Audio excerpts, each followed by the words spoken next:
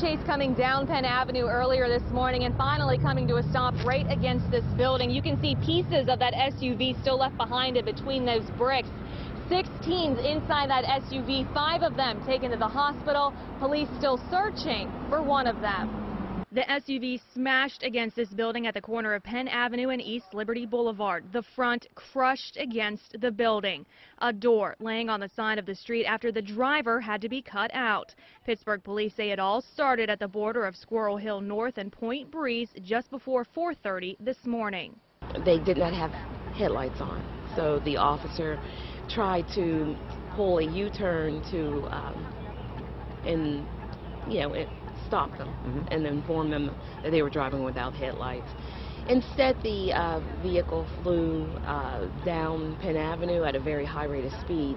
That pursuit only lasting about 27 seconds before the 16-year-old driver crashed. Inside, six teenagers, all boys between the ages of 13 and 16.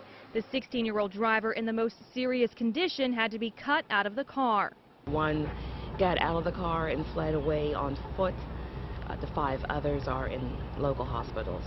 One is critical. Right now, police are trying to figure out if the car was stolen. They said it did not belong to any of the passengers. This incident just the latest in a string of pursuits involving teens. Whatever those teens were doing, I'm pretty sure they were up to no good to the point where the police had to, like, chase them. Police tape stretched across Penn Avenue for several hours while police reconstructed the scene. That investigation is ongoing. Reporting in East Liberty, Caitlin Sykes, Pittsburgh's Action News 4.